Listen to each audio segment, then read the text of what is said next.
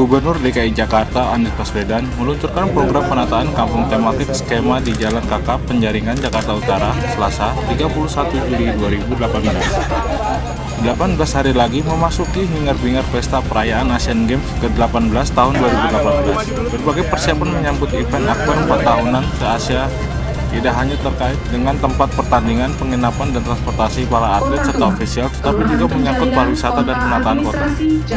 Dan melalui program beautifikasi kampung yang digagas Pemprov DKI Jakarta, terus mempercantik diri, seperti halnya di Kelurahan Penjaringan Jakarta Utara, di mana dilakukan kegiatan pengecatan mural berkonsep kampung tematik Jakarta Tempo Dulu.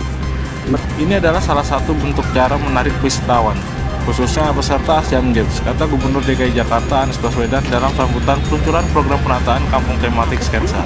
Dengan adanya program ini, Anies berharap proses beautifikasi kampung seperti ini terus menyebar ke wilayah lain, bukan hanya di penjaringan saja. Dan seandainya masyarakat melihat wajah ini berubah menjadi indah, tentunya yang lain pasti akan iri dan melakukan hal yang sama ucapnya. juga kamera juga dong Tim Liputan Kominfo di Jakarta Utara melaporkan.